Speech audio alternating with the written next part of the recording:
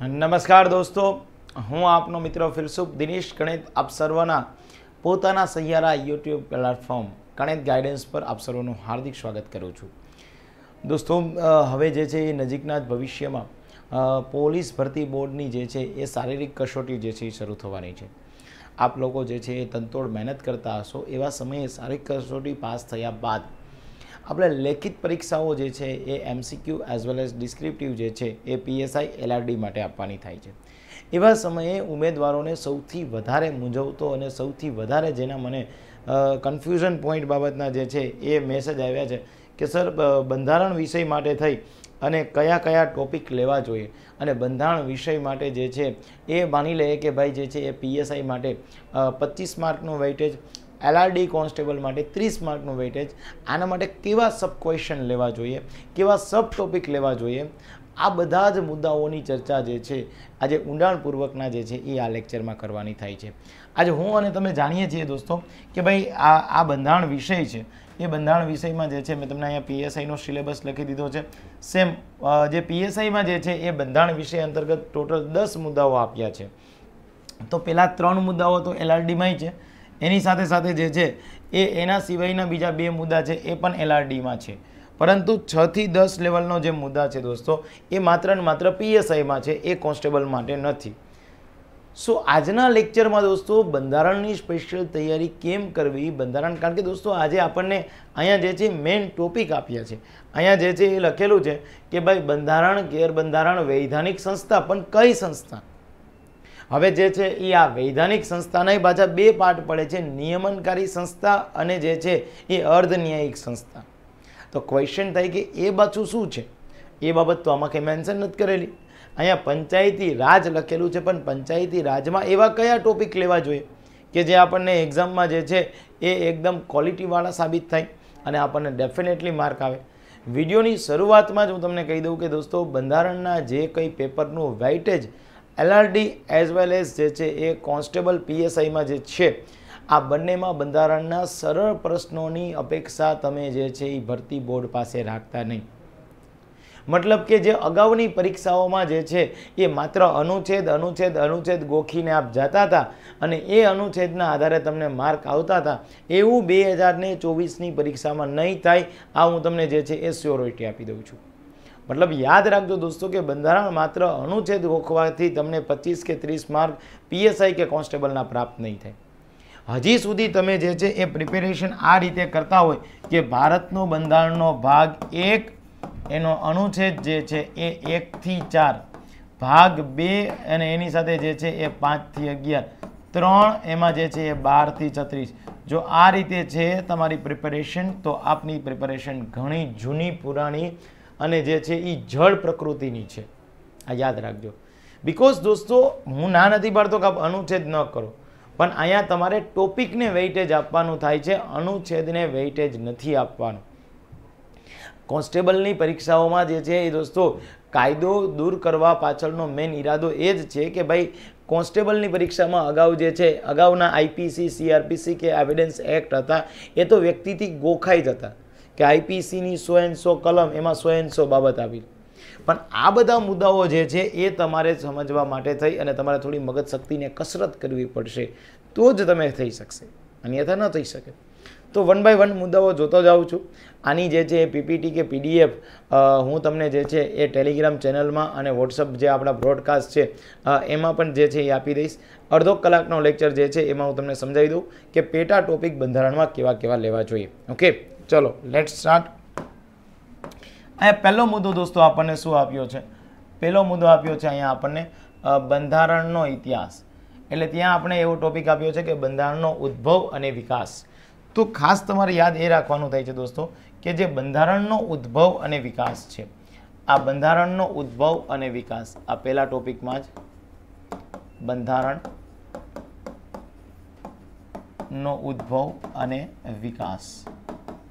Okay. લોકો સૌથી મોટી ભૂલ દોસ્તો એ કરે છે કે જ્યારે બંધારણનો ઇતિહાસ ભણવા જાય, ત્યારે વ્યક્તિઓ જે છે એ સીધું કંપની શાસન અને એ કંપની શાસન એટલે કહ્યું તો કે ભાઈ જે છે એ આપણે ત્યાં સત્તરસો ને તોતેરથી લઈ અને અઢારસો ને સત્તાવન. અને ત્યારબાદ જે છે એ બ્રિટિશ તાજનું શાસન, એટલે બ્રિટિશ તાજનું શાસન એટલે કયું? તો કે અઢારસો ને અઠ્ઠાવનથી લઈ અને ઓગણીસો સુડતાલીસ. આવી ગલતી ક્યારેય ન કરતા. બિકોઝ દોસ્તો, તમારે જો બંધારણનો ઇતિહાસ સારી રીતે ભણવો હોય, તો આ કંપની, એટલે કે ઈસ્ટ ઇન્ડિયા કંપની, આની પૃષ્ઠભૂમિ કે જે સોળસોની સાલથી લઈ અને જે છે એ સત્તરસો ને સત્તાવન સુધીની છે એ તમારે ભણવી પડશે. જો આ ભણશો તો તમારો મુદ્દો ક્લિયર થશે કે સત્તરસો ને તોતેરનો જ રેગ્યુલેટિંગ એક્ટ કેમ આવ્યો? કારણ કે આજે હું તમને એવું કહું છું દોસ્તો કે તમને એવી ખ્યાલ છે કે ભાઈ ભારત દેશમાં બ્રિટિશ ઈસ્ટ ઇન્ડિયા કંપનીની સ્થાપના થઈ. આના વિશે તમે તમામ પ્રકારની બાબતો જાણો છો. કેપ્ટન હોકિંગ્સ બાબતની તમામ મુદ્દાઓ જાણો છો. આપ સર ટોમ્સ રો બાબતના મુદ્દાઓ જાણો છો. પણ તમને એવું પૂછી લે કે બ્રિટિશ ઈસ્ટ ઇન્ડિયા કંપનીનું ઓરિજિનલ નામ શું? તો પછી આપને જે છે એ તોપ ફૂટે નહીં. એ મારી ગેરંટી છે. હે ને? એનસીઆરટીન જીસીઆરટીન બીજી પબ્લિકેશનને બધી વાંચી લીધી હોય ને, અહીંયા તોપ ના ફૂટે. આ એમાં ન આપેલું હોય. આ માત્ર ને માત્ર ભરતી બોર્ડના સિલેબસમાં આપેલું હોય. તો તમારે પહેલાં શરૂઆત ક્યાંથી કરવાની છે દોસ્તો? કે ઈસ્ટ ઇન્ડિયા કંપની સ્થાપિત થઈ. તમારે આમાં યાદ રાખવું પડે કે બંધારણીય દ્રષ્ટિકોણથી સત્તરસો સત્તાવનનું પ્લાસીનું યુદ્ધ અને સત્તરસો ને ચોસાઠનું જે છે એ બક્ષરનું યુદ્ધ, આ બંને વચ્ચે બંધારણીય દ્રષ્ટિકોણથી શું તફાવત છે? આ તમારે ભણવું પડે. પછી આપ જે છે એ ભણી શકો, સત્તરસો ને તોતેરનો જે છે એ રેગ્યુલેટિંગ એક્ટ સત્તરસો ને એક્યાસીમાં જે છે એ એક્ટ ઓફ સેટલમેન્ટ ભણવો પડે. સત્તરસો ને ચોર્યાસીમાં પીટ્સ ઇન્ડિયા એક્ટ ભણવો પડે. સત્તરસો ને છ્યાસીમાં પાછો એક્ટ ઓફ સેટલમેન્ટ ભણવો પડે. સત્તરસો ને દોસ્તો જે છે એ ત્રાણુંમાં ચાર્ટર એક્ટ અઢારસો ને જે છે એ તેરમાં ચાર્ટર એક્ટ અઢારસો ને તેત્રીસમાં ચાર્ટર એક્ટ અઢારસો ને ત્રેપનનો ચાર્ટર એક્ટ એ ત્યારબાદ ભણવાનો થાય. આજે દોસ્તો જે છે એ તમે બધું જ ભણી લ્યો, પણ જો આ સત્તરસો એક્યાસી અને સત્તરસો ને છ્યાસી એક્ટ ઓફ સેટલમેન્ટ ન ભણો તો કદાચ કોન્સ્ટેબલ થઈ શકાય પીએસઆઈ ન થઈ શકાય. આ એક્ટ ઓફ સેટલમેન્ટની વસ્તુ તમારે યાદ રાખવી પડશે. ત્યારબાદ જે છે, એ જ્યારે અઢારસો ને અઠ્ઠાવનમાં government of India act Bharat શાસન અધિનિયમ, ત્યારબાદ અઢારસો ને એકસાઠમાં ઇન્ડિયન કાઉન્સિલ એક્ટ અઢારસો ને બાણુંમાં જે છે, એ ઇન્ડિયન કાઉન્સિલ એક્ટ ઓગણીસો ને નવ મોરલે મિન્ટો ઓગણીસો ને ઓગણીસમાં જે છે એ મોન્ટેગ્યુ ચેમ્સફર્ડ ઓગણીસો ને પાંત્રીસનો જે છે એ ગવર્મેન્ટ ઓફ ઇન્ડિયા એક્ટ અને ઓગણીસો ને સુડતાલીસમાં ઇન્ડિયન ઇન્ડિપેન્ડન્ટ એક્ટ. આટલી વસ્તુ તમારે ભણવી જ પડે. જો આટલું ભણો, તો બંધારણનો ઉદ્ભવ અને વિકાસ થઈ શકે, પણ હજી જે હિડન આપેલી બાબતો તમને ન થઈ શકે. તો આના બાદ શું કરવાનું? તમને પ્રશ્ન થાય. આના બાદ તમારે દોસ્તો એ કરવાનું થાય છે કે જે બંધારણનો ઇતિહાસ છે, એ બંધારણના ઇતિહાસ અને બંધારણનો જે છે એ ઉદ્ભવ છે, એ અંતર્ગત તમારે જે દોસ્તો બંધારણ સભા કરી દેવી પડશે. એક બંધારણ સભાની કાર્યવાહી કરવી દેવી પડે. બંધારણ સભા, બંધારણ સભાની કાર્યવાહી.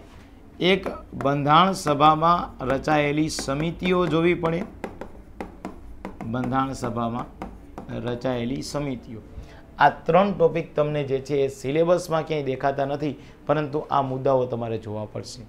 જો આ મુદ્દાઓ તમે જોઈ લો, તો આગળ જતાં તમારું ગાડું સારી રીતે ચાલે અન્યથા ન ચાલે. હે ને?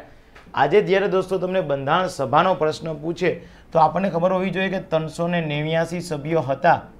આ ત્રણસો ને નેવ્યાસી સભ્યોમાંથી બસો ને બાણું સભ્યો એવા હતા કે જે પ્રાંતમાંથી હતા. બાકીના ચાર વ્યક્તિ એવા હતા કે જે ચીફ કમિશનર પ્રદેશમાંથી આવતા હતા.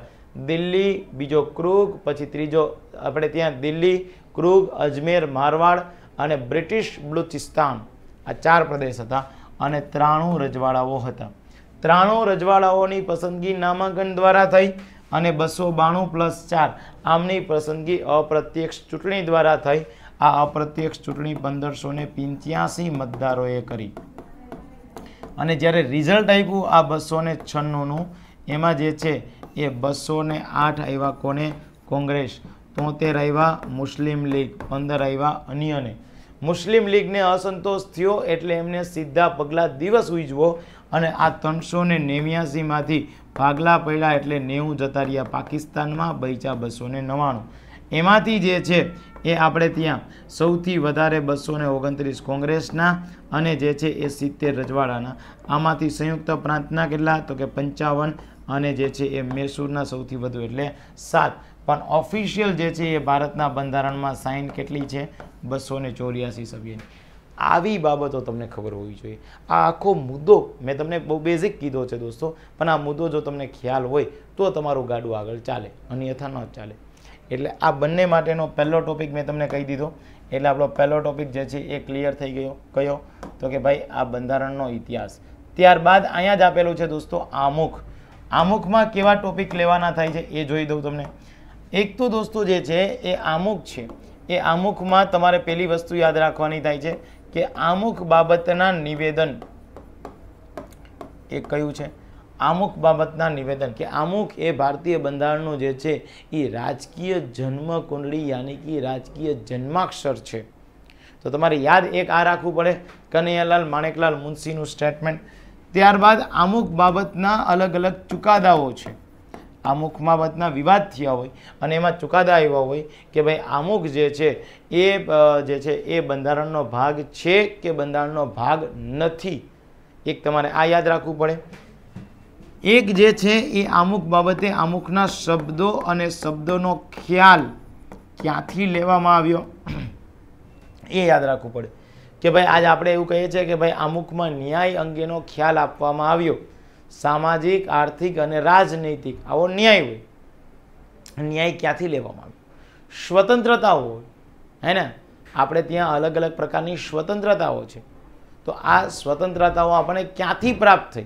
કઈ કઈ સ્વતંત્રતાઓ છે એ તમારે એક તો જે છે એ શબ્દો અને એનો ખ્યાલ આ યાદ રાખવો પડે. એની સાથે સાથે તમને આપવામાં આવ્યું છે દોસ્તો, મૂળભૂત અધિકાર. પહેલા જ ટોપિકમાં મૂળભૂત અધિકાર સૌથી વધારે અગત્યના થઈ જાય ફંડામેન્ટલ રાઇટ. આ ફંડામેન્ટલ રાઇટ માટે શું સમજવાનું થાય? એક તો ફંડામેન્ટલ રાઇટ જે છે દોસ્તો, એમાં તમારે સમજવાના થાય છે પેટા અનુચ્છેદ. એક શું સમજવાના છે? પેટા અનુચ્છેદ મતલબ શું? કે ભાઈ આજે જે છે એ આપણે ત્યાં એક અનુચ્છેદ જે છે એ તેર આપેલો છે દોસ્તો. તેરમાં એવું કીધું છે કે મૂળભૂત અધિકાર સાથે વિસંગત એટલે કે ટકરાવ થતા હોય તેવા કાયદા બાબતની જોગવાઈ. તો તેર એક આપણને આપેલું છે કે આઝાદી પૂર્વે જો કોઈ બનાવેલો કાયદો આઝાદી બાદના કાયદા સાથે ટકરાય, તો પછી આઝાદી બાદનો કાયદો માન્ય રહેશે. તેર જે છે એ બે આપેલું હશે આપણને કે ભારત દેશની કોઈ પણ રાજ્યમાં ચૂંટાયેલી સરકાર એવો કોઈ કાયદો ન બનાવી શકે કે જે કાયદો આપણા દેશના મૂળભૂત અધિકાર સાથે ટકરાતો હોય. અને જે છે એ તેર ત્રણમાં કાયદાના જે છે એ શબ્દની વ્યાખ્યા સ્પષ્ટ કરી. અહીંયા જે છે એ તમને વટહુકમ અધિનિયમ આદેશ એ આપ્યું. આજે તમને દોસ્તો જે છે એ પેટા અનુચ્છેદ આવડી જાય તો તમને મૂળભૂત અધિકારની વિભાવનાઓ ખ્યાલ આવે. એક તમને મૂળભૂત અધિકાર અને અધિકાર સાથેના અનુચ્છેદ મતલબ કે આજે હું તમને પ્રશ્ન પૂછું કે ભાઈ અનુચ્છેદ ચૌદ તમે જાણો છો? તમારા દરેક વ્યક્તિની કમેન્ટ આવશે કે જી સર, અમે અનુચ્છેદ ચૌદ જાણીએ છીએ. પણ કાયદા સમક્ષ સમાનતા છે, કાયદાનું સમાન રક્ષણ છે એ બધા વ્યક્તિને ખબર હોય. પણ જો તમને પ્રશ્ન પૂછે કે અનુચ્છેદ ચૌદના અપવાદ કયા? કયા વ્યક્તિને અનુચ્છેદ ચૌદ લાગુ ન પડે તો યાદ રહેવું જોઈએ કે અનુચ્છેદ ત્રણસો એકસાઠ અંતર્ગત રાષ્ટ્રપતિ રાજ્યપાલને લાગુ ન થાય. બીજું, અનુચ્છેદ એકસો પાંચ અંતર્ગત સાંસદ સભ્યોને લાગુ ન થાય. અનુચ્છેદ એકસો ને ચોરાણું અંતર્ગત ધારાસભ્યશ્રીઓને આ લાગુ ના થાય. આ તમારે યાદ રાખવું પડે. બીજી બાબત જે મૂળભૂત અધિકાર જે છે, એ મૂળભૂત અધિકાર બાબતે જે છે, એ સુપ્રીમ કોર્ટના જે છે, એ અલગ અલગ પ્રકારના કેસ થઈ ગયા હોય. અને આ કેસ બાબતના મહત્ત્વના જજમેન્ટ ચુકાદાઓ યાદ રાખવા પડે. ફોર એક્ઝામ્પલ તરીકે, ભારત દેશમાં દોસ્તો જે છે, એ તમે કોઈ સરકારી ભરતીમાં જે છે, એ ફોર્મ ભરવા જાઓ તો તમને અનામતનો લાભ મળે. પણ ફોર્મ ભર્યા, પાસ થઈ ગયા બાદ જ્યારે તમારી બઢતી થાય, તો તમને બઢતીમાં પણ અનામત મળશે. આના માટે જે છે એ નાગરાજ વર્સિસ સંઘરાજ્યનો કેસ બે હજારને છમાં થઈ ગયો. તમારે યાદ રાખવું પડે. આપણા દેશમાં ધર્મ, જાતિ, જ્ઞાતિ અને દરેકે દરેક ધર્મ જે છે એ તમે સારી રીતે જે છે એ માની શકો. એટલા માટે થઈ અને તમારો કોઈ પણ ધર્મ છે તો એના માટે ધાર્મિક શરત આપેલી હોય. આ ધાર્મિક શરતો જે છે એ એસપી મિત્તલ વર્સિસ સંઘરાજ્યના કેસમાં ઓગણીસો ને બ્યાસીમાં આપેલી છે. તમને યાદ રહેવું જ જોઈએ દોસ્તો. જો આવા અલગ અલગ જે છે એ મૂળભૂત અધિકાર સાથે સંબંધિત પંદરથી વીસ જે છે એ મહત્ત્વના કેસ યાદ રહી જાય તો તમારી લાઈફ બંધારણમાં મૂળભૂત અધિકાર બાબતે જિંગલાલા થઈ જશે. એનાથી વિશેષ યાદ રાખવાનું થાય છે દોસ્તો, તમારે રીટ અને રીટ બાબતની જોગવાઈ. પાંચ પ્રકારની રીટ છે, માત્ર રીટના નામ યાદ રાખવાથી ન ચાલે. બંદી પ્રત્યક્ષીકરણ કયા સંજોગમાં થાય, બંદી પ્રત્યક્ષીકરણ કયા સંજોગમાં ના થાય. બંદી પ્રત્યક્ષીકરણનું ઇંગ્લિશ શું થાય, પરમાદેશનું ઇંગ્લિશ શું થાય, ઉત્પ્રેષણનું ઇંગ્લિશ શું થાય, પ્રતિષેધનું ઇંગ્લિશ શું થાય. અધિકાર પૃચ્છાનું ઇંગ્લિશ શું થાય? એનો મિનિંગ શું છે? એના મિનિંગનું ઇંગ્લિશ શું થાય? આટલી બાબત જો આપણને આવડતી હોય તો રીતનો કોન્સેપ્ટ સારી રીતે આપણે સમજ્યા કહેવાશે. એનાથી વિશેષ જે છે, એ છેલ્લો મુદ્દો તમારે જે છે એ લેવાનો થાય, એટલે માર્શલ લો ભારતના બંધારણમાં કોઈ માર્શલ લો શબ્દ નથી, પણ ભારતના બંધારણમાં એક સૈન્ય શાસન આવો શબ્દ છે. તો માર્શલ લો બાબતની જોગવાઈ જે છે એ અનુચ્છેદ તેત્રીસ અને અનુચ્છેદ ચોત્રીસમાં આપેલી છે. તો જો તમને આ બી આવડી જાય તો મૂળભૂત અધિકારનો ટોપિક તમારે સારી રીતે થઈ ગયો કહેવાશે અન્યથા નહીં. આ બધા પેટા ટોપિક છે દોસ્તો. તમને મૂળભૂત અધિકાર આપ્યો, આ પેટા ટોપિક નથી આપ્યો, જે હું તમને કહું છું. જે તમારે યાદ રાખવા જ પડશે જો પરીક્ષામાં પાસ થવું હોય તો. બાકી મોટી ટોપ જે છે કે હું તો આમ કરી નાખું હું તો આમ કરી નાખું ને, હે અપ, અગલી બાર, ખાખી પાર હવે તો આપણને જે નડ્યા હતા, એ બધાને આપણે નડવાનું છે. આવી તોપો કંઈ નહીં કરી શકે. આવી તોપો બે હજાર પંદરમાંય તૈયારી કરતી હતી ને બે હજાર ને ચોવીસમાં તૈયારી કરે છે. આ યુટ્યુબમાં ઓપન માર્કેટમાં કહું છું. હે ને? પાસ થવું હોય તો એક જ વ્યક્તિ પાસ થઈ શકશે બે હજાર ને ચોવીસની ભરતીમાં. જેની પાસે દમદાર પરીક્ષાના ભરતી બોર્ડ જેવી અપેક્ષા રાખે, એવી અપેક્ષાવાળું જે છે તમારી પાસે કન્ટેન હશે તો. કન્ટેન હશે ડેફિનેટલી આપ પાસ થશો. સારું કન્ટેન હશે તો. બાકી અનુચ્છેદ ગોખવાથી પાસ થશો, એ તમારે જોવું હોય તો પરીક્ષા જતી રહે, પછી આપ જોઈ લેજો. એટલે એક મૂળભૂત અધિકાર લેવાના છે દોસ્તો. આની સાથે સાથે એક ડીપીએસપી આપ્યું છે, ભાગ ચાર. એટલે કે રાજ્ય નીતિના માર્ગદર્શક સિદ્ધાંતો direct principle of state policy તો પહેલી બાબત એ જોવાની થઈ છે કે ભાઈ આજે આપણે ત્યાં ડીપીએસપી છે, એમનો ઉદ્દેશ્ય શું છે? એમનો હેતુ શું છે? તો કે ભાઈ ડીપીએસપીનો હેતુ શું છે? તો કે ભાઈ રાજ્યની કલ્યાણકારી પ્રવૃત્તિમાં વૃદ્ધિ કરવાનો જે છે એમનો હેતુ છે. એક આ યાદ રાખજો. બીજું, તમારે દોસ્તો જે છે એ કમ્પેર કરવાનું થાય છે ફંડામેન્ટલ રાઇટ અને ડીપીએસપી. આ બંનેની સરખામણી કરવાની છે. સરખામણી કરવાથી તમને ખબર પડશે કે બંને વચ્ચે શું તફાવત છે. એવો સરખામણી નથી કરવાની કે ભાઈ ફંડામેન્ટલ રાઇટમાં ભંગ થાય તો તમે કોર્ટમાં જઈ શકો ડીપીએસપીનો ભંગ થાય તો કોર્ટમાં ન જઈ શકો. ના, અહીંયા તમારે દોસ્તો જે છે એ કમ્પેરિઝન કોની કરવાની? અનુચ્છેદ ચૌદ, અનુચ્છેદ ઓગણીસ અને એની સાથે અનુચ્છેદ ઓગણચાલીસ. આની કમ્પેરિઝન કરવાની છે.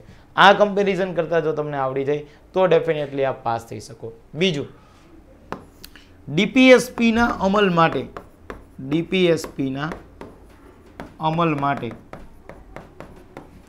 સરકારના પ્રયત્ન. મતલબ કે આપણે ત્યાં દોસ્તો, ભારત દેશમાં એક અનુચ્છેદ લખેલો છે, અનુચ્છેદ બેતાલીસ, જેમાં લખેલું છે, પ્રસૂતા મહિલાને સહાય. તો એના માટે ભારત સરકાર કે ગુજરાત રાજ્યએ કેવા પ્રયત્ન કર્યા એ યાદ રાખવાનું.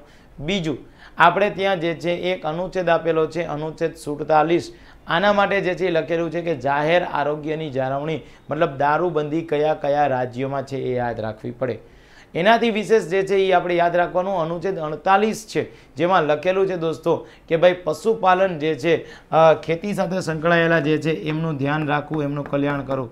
એના માટે એક સંસ્થા છે, આ સંસ્થાનું નામ છે ATMA. Agricultural technology management agency question જ પૂછી લે, આત્મા કોની સાથે સંગ્રહિત છે? એક મુન્નો લખે, ઊંઘ સાથે સંગ્રહિત છે. હમ. તારા નજીકમાં કાળી ચૌદસ આવતી લાગે, હે? આત્મા ઊંઘ સાથે છે? આ દરેકે દરેક જિલ્લામાં આવેલી એક સંસ્થા છે, જે કૃષિ સાથે સંબંધિત છે, ઓકે? તો એક દોસ્તો તમારે જે છે એ ડીપીએસપીમાં આ બાબત યાદ રાખવાની થાય છે. ડીપીએસપી સાથે ડીપીએસપી સાથે સંબંધિત બંધારણના સુધારા. અહીંયા તમને ત્રણ સુધારા મળશે. એક દોસ્તો બેતાલીસમો સુધારો મળશે એક છ્યાસીમો સુધારો મળશે અને એક જે છે એ આપણો સત્તાણુંમાં સુધારો મળશે.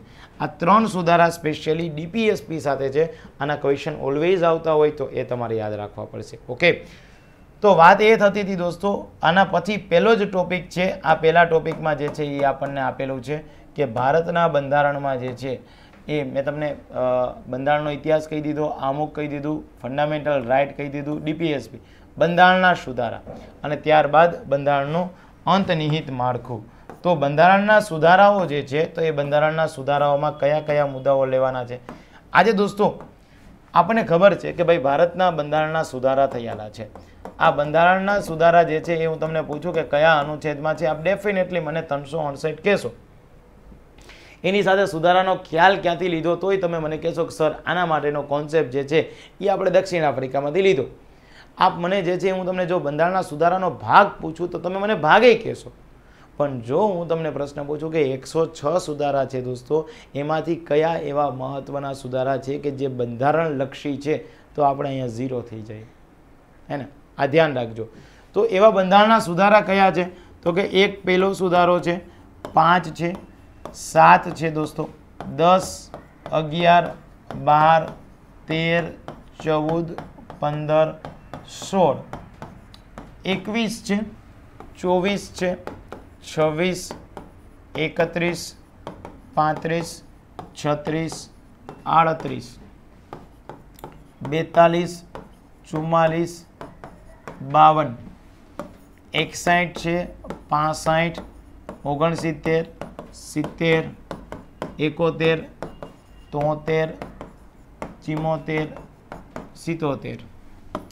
એંસી છે, ચોર્યાસી છે, છ્યાસી છે, સિત્યાસી છે, નેવ્યાસી છે, એકાણું, બાણું, ત્રાણું, ચોરાણું, છન્નું, સત્તાણું. નવ્વાણું, સો, એકસો એક એકસો બે, એકસો ત્રણ, ચાર, પાંચ અને છ. આપણે ગેરંટી સાથે કહું છું દોસ્તો, પ્રીવિયસ યરની પૂછાયેલી કોઈ પણ paper including class one two જોઈ લેજો. આટલા સુધારામાંથી મેજોરિટી ક્વેશ્ચન છે. સ્ક્રીનશોટ લેવો હોય તોય લઈ શકાશે અને જે છે એ ટ્રાય કરીને જોવું હોય તોય જોઈ શકાશે. તમે એવું કહેતો હોય કે, સર, અમે તો કેટલી બધી પ્રિપેરેશન કરીએ છીએ, પણ અમે જે વાંચીએ છીએ તો આવતું જ નથી. આ તદ્દન પાયા વિહોણી બાબત છે. બિકોઝ તમે વાંચો તો શું? ઉપર છલું વાંચી લ્યો છો. એટલે પ્રશ્ન ક્યારેય આપણે ન જોયા હોય એવા આવવાની શક્યતાઓ બહુ વિપુલ માત્રામાં છે. પણ એક સારા કન્ટેન્ટ સાથે સારી તૈયારી કરો રિવિઝન કરતા જાઓ. તમે વાંચો એવું જ પરીક્ષામાં આવું આવે, હું ગેરંટી સાથે આપને કહી દઉં છું. તમે વાંચો એવું જ આવે દોસ્તો. શું કામ ના આવે ભાઈ? એના માટે તૈયારીને જે છે એ સારી રીતે આખરી ઓપ આપવો પડે. તો બધું જે છે એ યોગ્ય રીતે પાર પડી શકે. અન્યથા પાર ન પડી શકે, હે? ચલો તો. અને એક બીજી બાબત છે દોસ્તો, અહીંયા તમને ક્વેશ્ચન છે, બંધારણનું અંતનિહિત માળખું. ઘણા બધા જે છે એ મિત્રો પ્રિપેરેશન કરે છે. એમને એક કન્ફ્યુઝન પોઈન્ટ છે સર, આ એક નવો ટોપિક જે છે એ ભરતી બોર્ડના સિલેબસમાં છે. અંતનિહિત માળખું એટલે શું? ભારત દેશના બંધારણમાં અંતનિહિત માળખુંનો ચોખ્ખો મિનિંગ દોસ્તો એવો થશે. ભારતના બંધારણની મૂળ રચના આજ દેશની સંસદ છે. એ દેશની સંસદ દોસ્તો ભારતના બંધારણમાં મૂળભૂત અધિકારમાં ફેરફાર કરી શકે. પણ એનો મતલબ એવો નહોતો કે ભારત દેશની જે બેઝિક સ્ટ્રક્ચર છે, આ ન બદલાવી શકાય. ફોર એન એક્ઝામ્પલ તરીકે તમે જો, તો આપણે ત્યાં તમે કોઈ પણ ધર્મ જે છે એ માની શકો. પણ પછી ભારત સરકાર એવું ન કહી શકે કે હવે ભારત દેશમાં એક જ માત્ર ધર્મ રહેશે, એ ધર્મ એટલે હિન્દુ ધર્મ. આના સિવાયના બધા જ ધર્મ જે છે ઝીરો. ના, આવું ન થઈ શકે. ભારત દેશમાં તમે કોઈ પણ પ્રકારનો વેપાર કરી શકો, પરંતુ ભારત સરકાર કાલ સવારે એવો કોઈ કાયદો ન બનાવી શકે કે હવે માત્ર ભારતમાં એક માત્ર ધંધો કરી શકાય. કયો તો કે પાણીપુરીનો દરેક વ્યક્તિ ભૈયા ભૈયા ભૈયા. ન થઈ શકે દોસ્તો. હે ને? આને શું કહેવાય? તો કે ભારત દેશનું જે છે એ અંતનિહિત માળખું યાની મૂળ રચના. યાદ રહી જશે? ચલો તો, વાત આપણે કરતા હતા કે ભાઈ પહેલો ટોપિક. આ મેં તમને વીસ પચીસ મિનિટ બાદ દોસ્તો જે છે એ એક ટોપિક તમને સમજાવ્યો. આ કયો? તો કે પહેલો ટોપિક જે છે એ મેં તમને ચર્ચા કરી અને કીધું કે ભાઈ આપણો કયો? યસ, આ એક ટોપિક. આ બંનેમાં કોમન છે. પીએસઆઈમાં બી કોમન છે અને એઝ વેલ એઝ એલઆરડી માટે પણ કોમન જ છે. એટલે કોઈ ચિંતા કરવાની થતી નથી. હવે જે છે એ બીજો ટોપિક છે કે જેમાં સંઘ, રાજ્ય, સંસદ, વિધાનમંડળ, રાષ્ટ્રપતિ અને રાજ્યપાલ સેમ આ પણ જે છે એ પીએસઆઈમાં જેમ એઝ ઇટ ઇઝ છે, એવી રીતે તમારે જે છે એ એલઆરડીની પરીક્ષામાં પણ કોમન છે. તો એ જોઈ લઈએ કે બીજા ટોપિક જે છે એ બીજા ટોપિકમાં આપણે કયા કયા મુદ્દાઓને સંગ્રહિત કરી લેવા જોઈએ. ચલો. બીજું જે છે એ ટોપિક કયો છે? તો કે બીજો ટોપિક એટલે સંઘ એટલે કે રાજ્ય, રાષ્ટ્રપતિ, આવા જ રાજ્યપાલ, સંસદ અને વિધાનમંડળ. સૌથી વધારે ક્વેશ્ચન જે છે એ પડશે તો એ તમારા બીજા નંબરના સિલેબસના ટોપિકમાંથી પડશે. આ યાદ રાખજો. ઓકે તો તમારે શરૂઆત ક્યાંથી કરવાની છે એ હું તમને કહી દઉં. શરૂઆત તમારે સંસદથી કરવાની થાય છે દોસ્તો. તો સંસદની શરૂઆતમાં શું આવે? તો કે યાદ રાખવાનું, એક તો સંસદની રચના આવે. સંસદની રચના. તો તમને થાય સર, આ સંસદની રચનામાં કઈ બાબતો લેવાની થાય? સંસદની રચના એટલે કે ભારત દેશમાં રાજ્યસભા, લોકસભાનું સ્ટ્રક્ચર આજે તમને એ ખબર હોવી જોઈએ કે ભારત દેશમાં દોસ્તો રાજ્યસભા છે, લોકસભા છે. રાજ્યસભા, લોકસભાની સભ્ય સંખ્યા છે. આ સભ્ય સંખ્યાનું વર્ગીકરણ કેવી રીતે થાય એ તમને ખબર પડે તો આગળ જે છે એ ગાડું ચાલે. આજે દરેક વ્યક્તિને ખબર હોય કે ભાઈ બસો પિસ્તાલીસ વ્યક્તિ રાજ્યસભામાં છે. પણ બસો પિસ્તાલીસમાંથી બાર વ્યક્તિ જે છે એ રાષ્ટ્રપતિ નિમણૂક કરે. કલા, સંસ્કૃતિ, આપણે વિજ્ઞાન અને સામાજિક કાર્ય. તો બસો તેત્રીસની ચૂંટણી થાય. અને બસો તેત્રીસની ચૂંટણી થાય એમાંથી જે છે એ આઠ કેન્દ્રશાસિત પ્રદેશમાંથી આવે.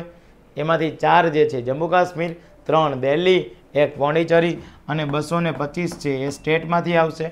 જેમાંથી સૌથી વધારે યુપી એકત્રીસ આવશે અને ગુજરાતમાંથી અગિયાર. પરીક્ષામાં પ્રશ્ન પૂછે કે ગુજરાત સિવાય કયા બે રાજ્યો છે કે જેમની સભ્ય સંખ્યા અગિયાર આપેલી છે? રાજ્યસભામાં તો મુન્નો તરત ફિટ થઈ જાય. પછી કે મારે હવે આવતા વર્ષની તૈયારી કરવી, એ તો એ જ થવાનું છે.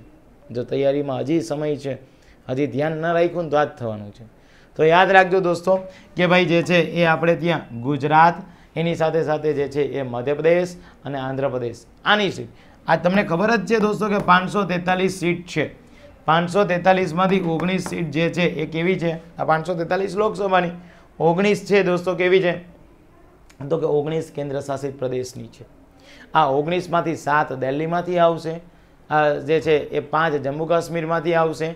બે દીવ દમણ દાદરાનગર હવેલીમાંથી આવશે અને પાંચ બીજા અન્ય કેન્દ્રશાસિત પ્રદેશ આંદમાન, નિકોબાર, લક્ષદ્વીપ, પોંડિચેરી, ચંદીગઢ અને લદ્દાખ. બધામાંથી એક એક આવશે અને બાકીની પાંચસો ચોવીસ સ્ટેટને આપવામાં આવશે. જેમાં ગુજરાતને જે છે છવ્વીસ અને યુપીને એંસી. તમને પ્રશ્ન પૂછી લે કે લોકસભામાં ઓગણીસ સીટ જે છે એ કેન્દ્ર શાસિતને આપી, એમાંથી કેટલી સીટ જે છે મતલબ ઓગણીસ સીટ તમે આપી છે લોકસભામાં કેન્દ્ર શાસિત પ્રદેશને? કયા એક્ટ પ્રમાણે? તો આને કહેવાય સંઘ રાજ્ય ક્ષેત્ર અધિનિયમ. આ અંતર્ગત જે આપી છે, આ પ્રશ્ન જો તમને આવડી જાય, તો પછી જે છે એ આપણને થોડુંક જે છે એ વેઇટેજ મળવાની શક્યતા અને એકદમ રોકડા માર્ગ તમે જેવું વિચારો એવા જ આવવાની શક્યતા છે. બીજું, એક છે દોસ્તો સંસદની સત્તા. બીજો મુદ્દો તમારે તૈયાર કરવાનો થાય છે સંસદની સત્તાનો.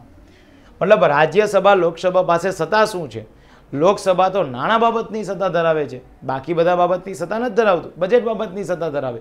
પણ અખિલ ભારતીય સેવામાં ફેરફાર કરવો હોય તો એ માત્ર કોણ કરી શકે દોસ્તો? તો કે રાજ્યસભા જ કરી શકે. એક તમારે સંસદની સત્તા વાંચવાની. એક તમારે જે છે એ બિલના પ્રકાર.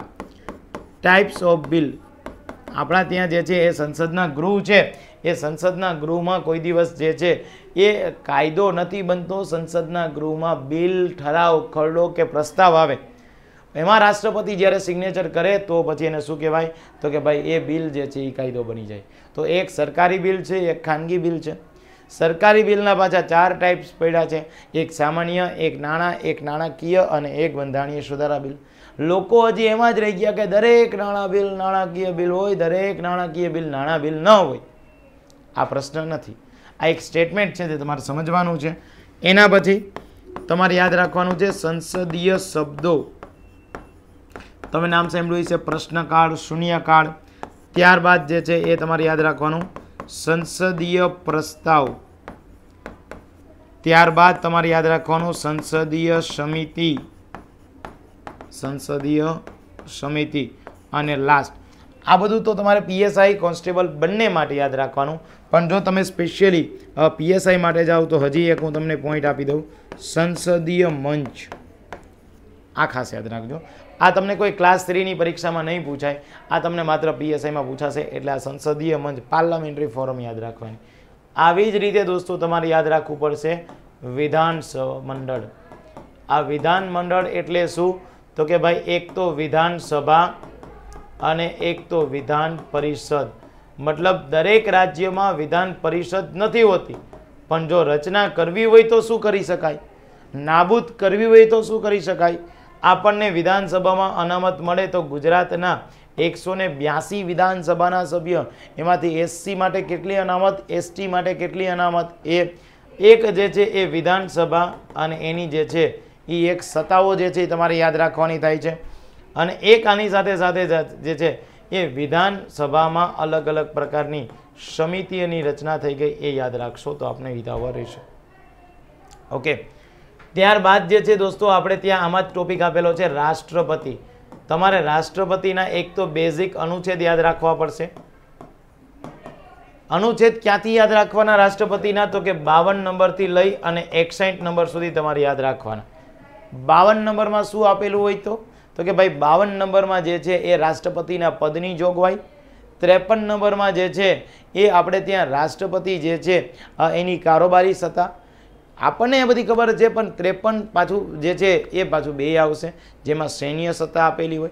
ચોપનમાં રાષ્ટ્રપતિની ચૂંટણીના જે છે એ મતદાર, પંચાવનમાં રાષ્ટ્રપતિ ચૂંટણીની પદ્ધતિ, છપ્પનમાં રાષ્ટ્રપતિની ચૂંટણીની હોદ્દાની મુદત, સત્તાવનમાં ફરીથી ચૂંટાવાની લાયકાત, અઠાવનમાં ઉમેદવારી ફોર્મ ભરવાની લાયકાત ઓગણસાઠમાં હોદ્દાની શરત, ઓગણસાઠ જે છે એ ત્રણમાં રાષ્ટ્રપતિનો પગાર, સાઠ જે છે એમાં શપથ અને એકસાઠમાં મહાભિયોગ બટ અનુચ્છેદમાં યાદ રાખવાનું થાય છે દોસ્તો કે ભાઈ અનુચ્છેદ એકસાઠ છે, મહાભિયોગ, તો તમારે મહાભિયોગની પ્રક્રિયા યાદ રાખવી પડે કે મહાભિયોગ કયા સંજોગમાં શરૂ થઈ શકે, મહાભિયોગની પ્રક્રિયા શું છે એ તમારે સમજવી પડે. ત્યારબાદ રાષ્ટ્રપતિ મહોદયની સત્તા યાદ રાખવાની. રાષ્ટ્રપતિ મહોદયની ત્રણ સત્તા. બહુ મહત્વની થઈ જાય. કટોકટીની એક ધારાકીય સત્તા અને એક જે છે, આપણી ત્યાં કટોકટી, ધારાકીય અને કારોબારી. આમ તો એની આઠ સત્તા છે, પણ આ ત્રણ સત્તા બહુ મહત્વની. માત્ર કટોકટીમાં ત્રણસો બાવન, ત્રણસો છપ્પન અને ત્રણસો સાહીઠ, આના આધારે જે છે એ કટોકટી આવડી ન કહેવાય. એની વિશેષ જોગવાઈ તમારે યાદ રાખવી પડશે. અને આપણે યાદ રાખવાનું કે રાષ્ટ્રપતિના સમયગાળાના કાર્યો.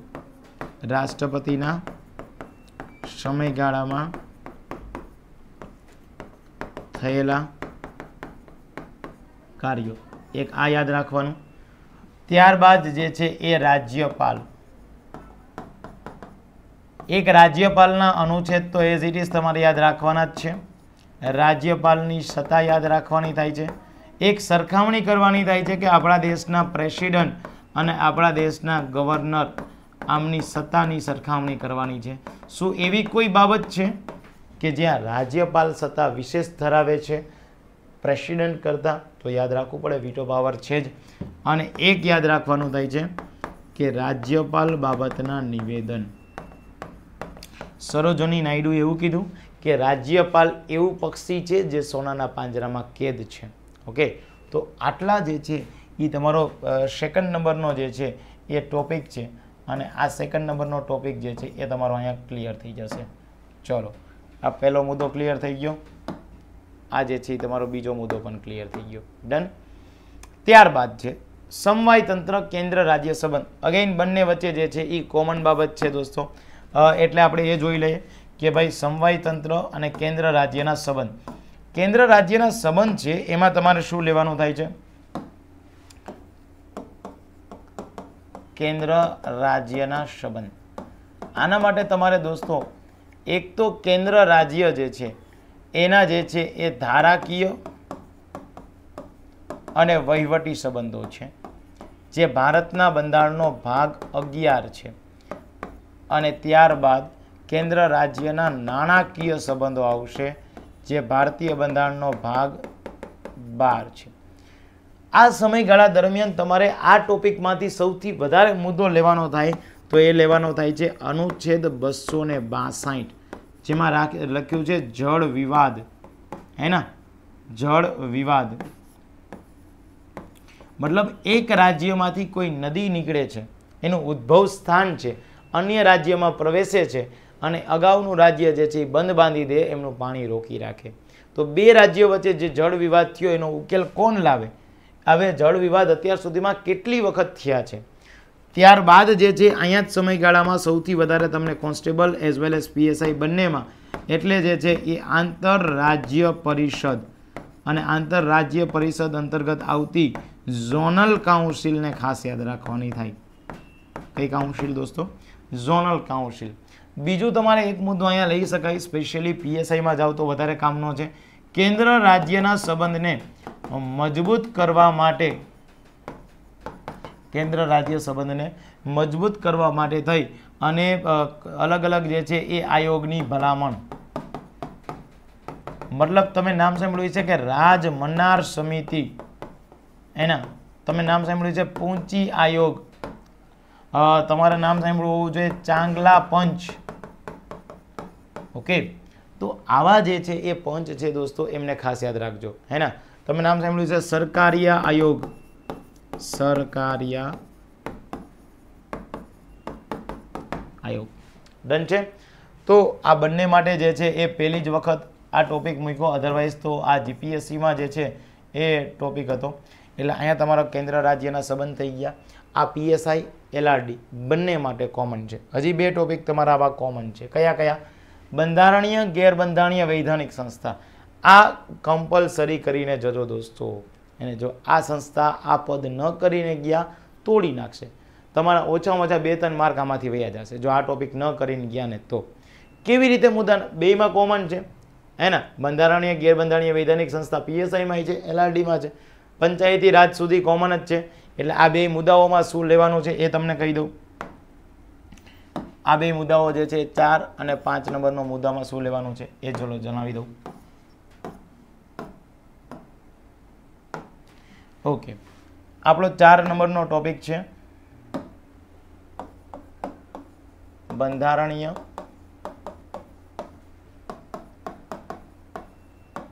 ગેરબંધારણીય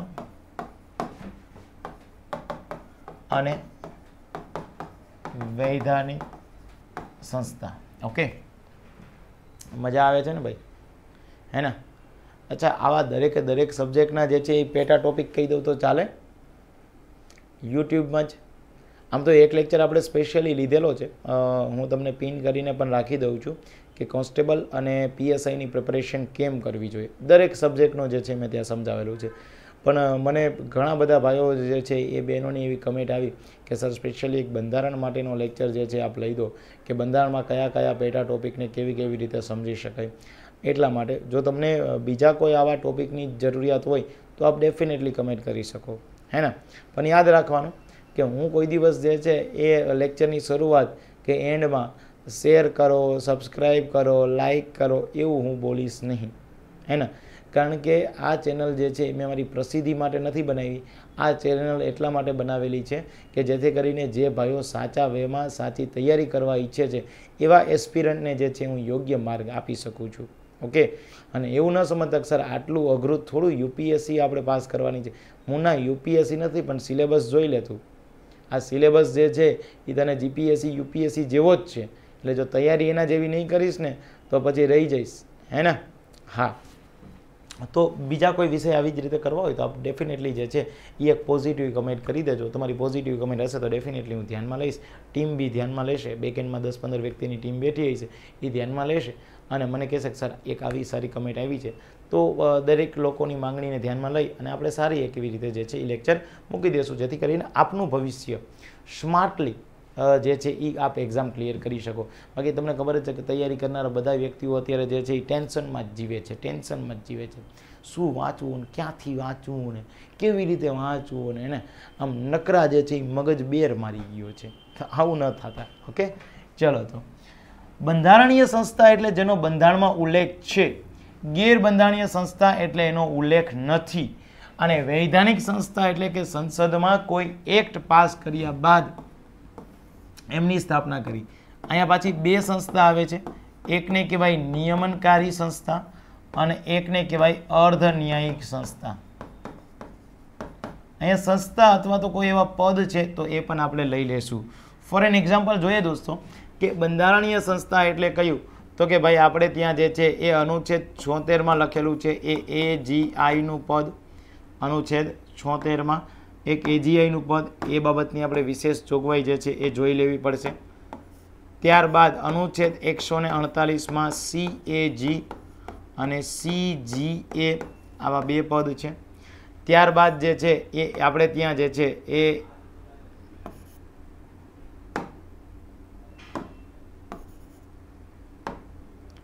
યસ, બસો ને એંસી, સેન્ટ્રલ ફાઇનાન્સ કમિશન ત્રણસો ને પંદરમાં યુપીએસસી લખેલું હશે. ત્રણસો ને ત્રેવીસ એ સેન્ટ્રલ એડમિનિસ્ટ્રેશન ટ્રિબ્યુનલ. ત્રણસો ને ચોવીસમાં ઇલેક્શન કમિશન ઓફ ઇન્ડિયા. ત્યારબાદ national commission for scheduled caste, national commission for scheduled tribe, national commission for backward caste આ બધા પદ. ગેરબંધારણીય સંસ્થા કોને કહેવાય? તો કે જેનો કોઈ બંધારણમાં ઉલ્લેખ જોવા ન મળે. તો કઈ સંસ્થા આવશે દોસ્તો? નીતિ આયોગ આવશે. ઓકે. અત્યાર સુધી જે આયોજન પંચ હતું એ ત્યારબાદ જે છે એ રાષ્ટ્રીય વિકાસ પરિષદ હશે. ત્યારબાદ રાષ્ટ્રીય એકતા પરિષદ હશે. ત્યારબાદ રાષ્ટ્રીય જલ સંસાધન પરિષદ હશે. આ બધા કેવા ક્વેશ્ચન કહેવાય દોસ્તો? તો કે ભાઈ આપણે ત્યાં ગેરબંધારણીય જે છે એ સંસ્થાઓ કહેવાશે. હવે નિયમનકારી સંસ્થા. નિયમન એટલે રેગ્યુલેટિંગ બોડી હોય. જે કોઈ એક વિશેષ ક્ષેત્ર માટે જે છે એ સ્થાપિત કરવામાં આવેલી હોય. તમે નામ સાંભળ્યું છે દોસ્તો? SEBI security exchange board of India. ત્યારબાદ જે છે એ IRDA insurance regulatory development authority of India. ત્યારબાદ ટ્રાય હે ને? Telecom regulatory authority of India ત્યારબાદ CCI competition commission of India હે ને? ત્યારબાદ જે છે એ provident fund regulatory development authority of India આ બાબત. ઓકે અર્ધન્યાયિક સંસ્થાઓ કોને કહેવાય? એ પણ આપણે જોઈ લેવાની થાય છે. અર્ધન્યાયિક સંસ્થા એટલે કે જેમની પાસે દીવાની અદાલતની સત્તાઓ હોય. એને શું કહેવાય? અર્ધન્યાયિક સત્તા. એટલે કે national human right commission, national commission for women national commission for minority. આપણે ત્યાં જે છે એ સીબીઆઈ આપણે ત્યાં CVC central bureau of investigation central vigilance commission CIC central information commission આ બધી સંસ્થાઓ અર્ધન્યાયિક કહેવાય. તો જો આટલું આપણને સારી રીતે દોસ્તો આવડી જાય, તો ડેફિનેટલી જે છે એ આપણે આ તમારો બે કે ત્રણ પેજ જ થાય દોસ્તો. હે ને? સારી રીતે. અને આ બધું બહુ ડેપ્થમાં કરવાનું આ તમારે બહુ ડેપ્થમાં કરવાનું છે તો તમને આવડશે. આ તો જસ્ટ હું તમને ટોપિક આપું છું. આ બધાય ટોપિક તો જે છે એ આપણે આપણી એપ્લિકેશનમાં કરાવેલા છે બહુ ડેપ્થમાં પણ અહીંયા તો હું તમને ડેપ્થમાં ટોપિક નથી આપતો જસ્ટ એક ટોપિકનો ઓવરવ્યૂ આપું છું. તમારે નીતિ આયોગના ઇન્ડેક્સ યાદ રાખવા પડે. નીતિ આયોગની રચના યાદ રાખવી પડશે. અને ત્યારબાદ પાંચમો ટોપિક છે, એનો મતલબ થાય છે પંચાયતી રાજ. પંચાયતી રાજ. ઓકે? આમાં શું કરવાનું છે ભાઈ? એક તો પંચાયતી રાજનો ઇતિહાસ લેવો પડશે. પંચાયતી રાજનો ઇતિહાસ લેવાનો. બીજું, પંચાયતી રાજના વિકાસ માટે ભલામણ કરવામાં આવેલ માટે અલગ અલગ સમિતિ. તમે નામ સાંભળ્યું છે? બળવંતરાય મહેતા સમિતિ, અશોક મહેતા સમિતિ હનુમંતરાવ સમિતિ, એલ એમ સિંઘવી સમિતિ, હે ને? પી કે થુંગન સમિતિ અને ગુજરાતમાં પણ આવી સમિતિ છે. એનાથી અલગ અલગ વહીવટી ક્ષેત્રની સમિતિ. વહીવટી ક્ષેત્ર માટે સમિતિ. તમે નામ સાંભળ્યું છે? કારોબારી સમિતિ, પાણી સમિતિ, હે ને? આ બધી સમિતિઓ. એક યાદ રાખવાનું આ દરમિયાન પંચાયતની યોજના. પંચાયતની યોજનાઓમાં શું યાદ રાખશો દોસ્તો? તો કે પંચાયતની યોજનાઓમાં સરકારશ્રી દ્વારા જે છે, એ કલ્યાણકારી યોજનાઓ તમારે યાદ રાખવાની છે. પણ આની જોડે જોડે તમારે યાદ રાખવાનો થાય છે, તોતેર અને ચિમોતેરમો સુધારો કમ્પલસરી કરી જવો. ઓકે? જો આ સુધારો ન કરો, તો પંચાયત નથી શીખાય એના જેવું થાય. અહીંયા સુધીની બાબતો દોસ્તો કેવી હતી? કે ભાઈ આ સુધીની બાબતો એવી હતી કે જે તમારા પીએસઆઈ અને કોન્સ્ટેબલ આ બંનેના સિલેબસમાં જે છે એ કોમન ટોપિક આપેલા છે. હે ને? પહેલાં ત્રણ તો મેં વાત કરી દીધેલી છે. ત્યારબાદના બીજા બે. હવે છ, સાત, આઠ, નવ, દસ આ જે છે એ માત્ર શેમાં આપ્યા છે? પીએસઆઈમાં આપ્યા છે. એલઆરડીમાં જે છે એ તમને આપ્યા નથી. ઓકે? ચલો, તો પીએસઆઈ માટે આપણે કહી દઈએ કારણ કે ઘણા બધા મિત્રો જે છે પીએસઆઈની પ્રિપેરેશન કરે છે અને આપ ઘર બેઠા સારી રીતે જે છે એ પીએસઆઈ બની જ શકો છો. એમાં કોઈ ચિંતાનો વિષય નથી દોસ્તો. ડેફિનેટલી જે છે આપ બની શકો છો. વિઝન જોઈએ તમારે. સારી મહેનત જોઈએ. મોટિવેશન થોડુંક ઓછું જોઈએ. યુટ્યુબમાં રીલ્સો જોઈ જોઈને મોટિવેશન મેળવવું નહીં. હે ને? કારણ કે એમને ખબર નથી પરીક્ષા પાસ કેમ કરવી. મોટિવેશન જોતું હોય તો ઘરે આપણા મા બાપ જોઈ લેવાના. સવારમાં જે છે એ બાપ જે છે એ સૂર્ય ઉગે, એની પહેલાં વયો જાય, સૂર્ય હાથમે પછી આવે. આ બાપ આપણું મોટિવેશન ઘરમાં બધાય જે છે એ ઉઠે, એની પહેલાં માં ઉઠી જાય, સાંજે જે છે એ બધાય સૂઈ જાય, પછી માં સૂવે. આ આપણું મોટિવેશન આ બે મોટિવેશન જોઈ લો, જિંદગીમાં બીજા કોઈ મોટિવેશન જોવાની જરૂર જ નથી. હે ને? બીજા કોઈ રીલ્સ મારા રીલ્સ કે બીજા કોઈની રીલ્સ કે આ જે મોટિવેશન આપે એ ગલત નથી કહેતો. પણ જરૂર નહીં પડે જો આ બે વ્યક્તિના મોઢા સામે જોશો ને તોય. કદાચ કોઈ ગલત કામ કરવા જશો ને ત્યારે આ બેના મોઢે તમારી સામે આવી જશે ને તમને નહીં નહીં એ ભાઈ ગલત કામ કરું છું. બા બાપનું જે છે એ સપનાઓ જે છે અહીંયા જે છે ચકનાચૂર થઈ જાય, એવું નથી કરવું આ યાદ રાખજો. તો આ જાહેર વહીવટના ટોપિક છે દોસ્તો. તો ભારતીય પ્રશાસનની ઉત્ક્રાંતિ, અમલદાર તંત્ર, મુલકી સેવા, કેન્દ્ર રાજ્ય જિલ્લાનું વહીવટતંત્ર કાયદો વ્યવસ્થાનું પ્રશાસન અને રાજ્ય અને કેન્દ્રના અલગ અલગ પ્રકારના નીતિઓ. તો પહેલો મુદ્દો જે છે એ હું તમને લઈ દઉં છું. ભારતીય પ્રશાસનની ઉત્ક્રાંતિ અમલદાર તંત્ર, કેન્દ્ર, રાજ્ય, જિલ્લાનું વહીવટતંત્ર. આ આમ જોવા જઈએ તો છ થી નવ તમે કમ્બાઈનમાં લઈ શકો. છેલ્લે દસમો એક ટોપિક હું તમને કહી દઉં છું.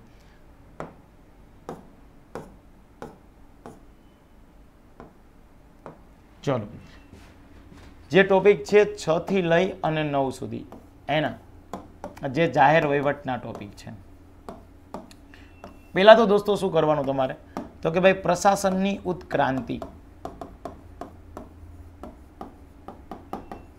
પ્રશાસનની ઉત્ક્રાંતિ. મતલબ કે આપણા દેશમાં જે અલગ અલગ પ્રકારના અમલદાર છે, જે શાસન કરનારા આઈએએસ છે આઈપીએસ છે આઈએફએસ છે, આવા બધા લોકોની જે છે સ્પર્ધાત્મક પરીક્ષા લેવાની શરૂઆત ક્યારથી થઈ?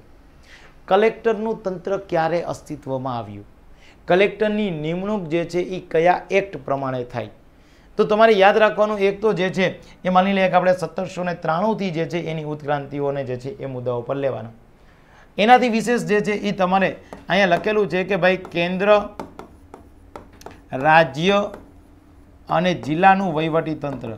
તો તમારે સૌથી વધારે આ ટોપિકનું બાયફર્ગેશન કરીને લેવાનું કે કલેક્ટરનું તંત્ર લેવશો, કલેક્ટરને મદદ કરનાર અધિકારી ગણ લેશો, કલેક્ટરશ્રીને મદદ કરનાર અધિકારી ગણ. કલેક્ટર જે છે એમની સત્તાઓ પણ ધ્યાનમાં લેશો તમે, હે ને? અને એનાથી વિશેષ કે ભાઈ કેન્દ્ર લેવલે જે છે એ અલગ અલગ પ્રકારના જે છે રાજ્યમાં વિભાગો બને, કેન્દ્રમાં મંત્રાલય બને. તો કયા મંત્રાલય પાસે કેવી કામગીરી છે? ફોર એન એક્ઝામ્પલ આપજો કે ભાઈ તમને એટલી ખબર પડે છે કે ગૃહ મંત્રાલયના મંત્રી અમિતભાઈ શાહ છે. પણ તમારે અહીંયા દોસ્તો જાહેર વહીવટ અંતર્ગત એ સમજવું પડે કે ગૃહ મંત્રાલય અંતર્ગત કઈ કઈ બાબતો આવે. ગૃહ મંત્રાલય જે કેન્દ્ર સરકારમાં છે અમિતભાઈ શાહના જે છે એ અધ્યક્ષ સ્થાનેથી આખું જે વહીવટતંત્ર સારી રીતે ચાલે, એમાં એક તો આપણે ત્યાં આંતરરાજ્ય જે છે એ સરહદના મુદ્દા આવી જાય, બીજા જે છે એ જમ્મુ કાશ્મીર વિભાગ આવી જાય, ત્રીજું કેન્દ્ર રાજ્યના સંબંધ આવી જાય, ચોથું જે છે એ આપણે સ્પેશિયલી જે છે કોઈ ક્ષેત્રીય જે છે એ બાબતનો વિકાસ આવી જાય પાંચમું ભાષા આવી જાય અને છઠ્ઠું વસ્તી આવી જાય. આ બધું ગૃહ મંત્રાલય અંતર્ગત આવે છે. એના બાયફર્ગેશન થયેલા ટોપિક છે. તો તમારે એ જોવું પડે કે ગૃહ મંત્રાલયમાં કઈ કઈ બાબત આવે, રક્ષા મંત્રાલયમાં કઈ કઈ બાબત આવે. આપણે ત્યાં નાણાં મંત્રાલયમાં જે છે, એ નાણાં મંત્રાલય હોય ને દોસ્તો, તો એમાં અલગ અલગ પ્રકારના વિભાગો હોય. Department of expenditure department of revenue department of disinvestment department of finance આ બધી બાબતો જોવી પડશે તમારે. તો તમને જે છે એ આ મુદ્દાઓ ભલીભાતી સારી રીતે આવડશે. અહીંયા પ્યોર જાહેર વહીવટ નથી. જેમ જીપીએસસીમાં પ્યોર જાહેર વહીવટ પૂછે, એવું જાહેર વહીવટ નથી દોસ્તો. અહીંયા તમને અમલદાર તંત્ર પૂછે છે, જો તમે જાહેર વહીવટ કરવા ઈચ્છતા હોય પીએસઆઈ, તો તમારે આરટીઆઈ એક્ટ કમ્પલસરી કરી જવો પડે. આ અમલદાર તંત્ર છે કે તંત્ર કેવી રીતે કામ કરે છે હે ને આજે હું તમને એમ કહું છું દોસ્તો કે ભાઈ આજે આ પોલીસ ડિપાર્ટમેન્ટમાં પીએસઆઈ બનવા માટે આવો છો. તો પીએસઆઈ બનવા આવો છો તો તમને એ તો ખબર જ છે કે ભાઈ નીચેના લેવલથી જે છે એ એલઆરડી, ત્યારબાદ જે છે પોલીસ કોન્સ્ટેબલ, ત્યારબાદ હેડ કોન્સ્ટેબલ, ત્યારબાદ પીએસઆઈ, ત્યારબાદ પીઆઈ. પણ ત્યારબાદ પીઆઈ બાદ જે ચાર કમિશનર રેટ એવા છે કે જે અમદાવાદ, રાજકોટ, સુરત અને બરોડા. ત્યાં પીઆઈ પછી જે છે એ કોઈ દિવસ ડીવાયએસપીનું પદ નથી આવતું કારણ કે કમિશનરેટ છે એટલે ડીવાયએસપીની સમકક્ષ ત્યાં એસીપી સરનું પોસ્ટ આવે છે. ત્યારબાદ ડીસીપી સર આવે છે. ત્યારબાદ જેસીપી સર આવે છે અને ત્યારબાદ કમિશનર ઓફ પોલીસ આવે છે. જ્યારે આ ચાર સિવાયના જે છે, એમાં જે છે એ ડીવાયએસપી આવે, પછી જે છે આસિસ્ટન્ટ સુપ્રિન્ટેન્ડન્ટ ઓફ પોલીસ આવે અને ત્યારબાદ જે છે ઈએસપી સર. હેના? અને આ એસપી સર અને જે છે સીપી સર આમની ઉપર જે છે એ એક સિનિયર વ્યક્તિ છે, જેનું નામ છે IGP inspector general of police આ એક આખું વહીવટતંત્ર તમારી પાસે અપેક્ષા રાખે છે. આ એક અમલદાર તંત્રની અપેક્ષા રાખે છે. તો તમારે આ કરીને જવાનું છે. જે છ થી નવના ટોપિક છે. આના માટે કોઈ વિશેષ બુક નથી. આ તમારે અલગ અલગ જે છે એ થોડીક મગજની કસરત કરી, એક સારી રીતે પીએસઆઈ બનવા ઈચ્છો છો, આવું જે છે એ સરકાર પાસે સાબિત કરી અને થોડુંક તમારે અલગ અલગ બુકમાંથી ભેગું કરીને લાવવું પડશે. તો તમને જે છે એ આ મળી શકશે. ઓકે? અને ત્યારબાદ લાસ્ટ ટોપિક આપણો. એટલે કયો? તો કે કેન્દ્ર અને રાજ્યની નીતિઓ. અને કાર્યક્રમ. તો આવી કઈ કઈ નીતિ લેવાની છે તમારે? એક દોસ્તો તમારે સાયન્સ એન્ડ ટેકની પોલિસી લેવાની છે. અલગ અલગ પોલિસીઓ જે બની હોય વિકાસ માટે, રાજ્ય કે રાષ્ટ્રના વિકાસ માટે.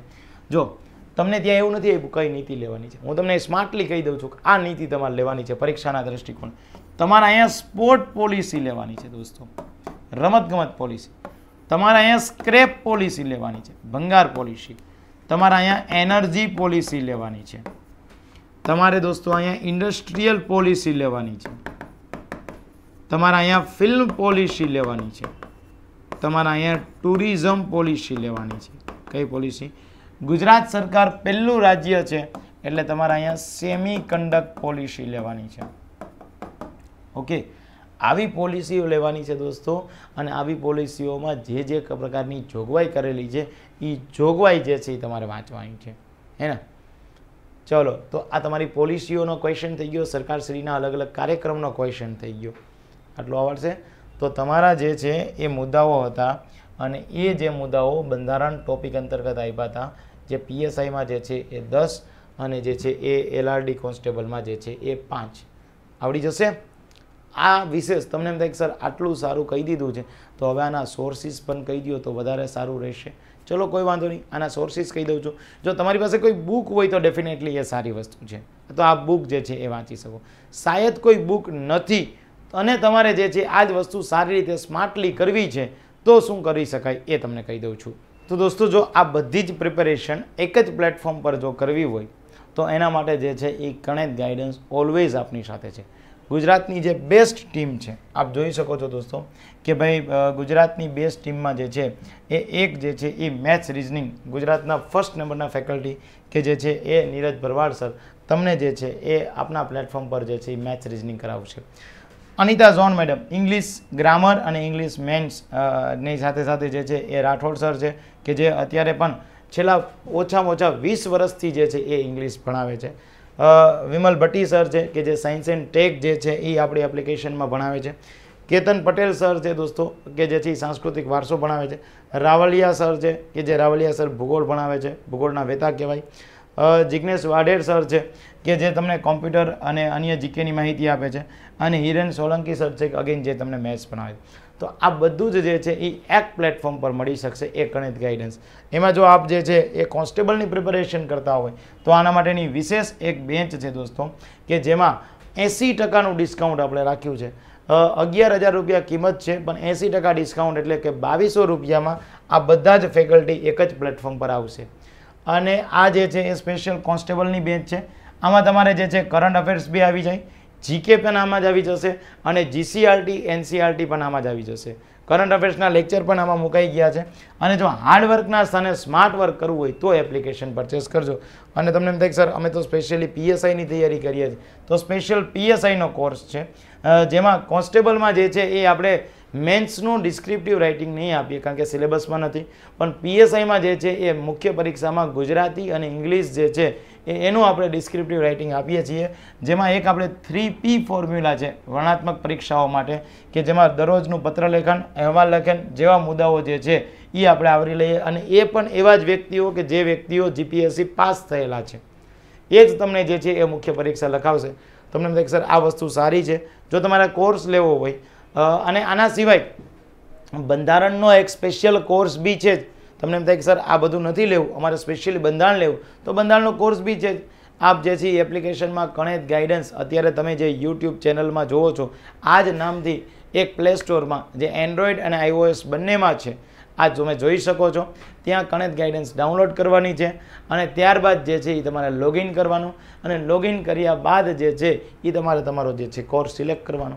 હા, આમાં કોઈ પણ પ્રકારની ક્વેરી હોય કદાચ તમે પરીક્ષા, બીજી બધી એપ્લિકેશન અને આપણી એપ્લિકેશનમાં તફાવત એ છે કે એપ્લિકેશન પરચેસ કર્યા બાદ હું તમને એક શેડ્યુલ બનાવી દઈશ કે કેવી રીતે વાંચવું, ક્યાંથી તૈયારી કરવી જોઈએ, શું વાંચવું જોઈએ, શું ન વાંચવું જોઈએ, જેમાં જ મેં તમને પેટા ટોપિક આપ્યા એ હું તમને કહી શકીશ. ઓકે વિશેષ કોઈપણ પ્રકારની માહિતી જોતી હોય તો આપ જે છે એ વોટ્સઅપ ગ્રુપમાં પણ જોડાઈ શકો છો. ટેલિગ્રામ ચેનલ જે આ સેમ નામથી જ છે કણિત ગાઈડન્સથી ઓગણીસ હજાર જેવા જે છે સબસ્ક્રાઈબર બધા એક જ પ્લેટફોર્મ પર તૈયારી કરે છે. અને એની સાથે સાથે જે છે તમારે યાદ એ રાખવાનું છે કે તમારે કોઈ વોટ્સઅપમાં ડિટેલ જોઈએ તો મારો નંબર મેન્શન કરી દેજો. Seven double two six nine seven double two six nine two six zero two four okay ચલો દોસ્તો, આજના લેક્ચર માટે આપ સર્વનો ખૂબ ખૂબ આભાર. આપ બધા જ લોકો જે છે એ લેક્ચરમાં પધાર્યા. આશા રાખું છું કે બધા જ વ્યક્તિઓ બે હજારને ચોવીસમાં જે છે એ આપના પોતાના ડ્રીમ, આપના માતા પિતા સમક્ષ પૂરા કરો અને આપનું કરિયર હોય એવી અપેક્ષા સાથે wish you all the very best. Bye see ya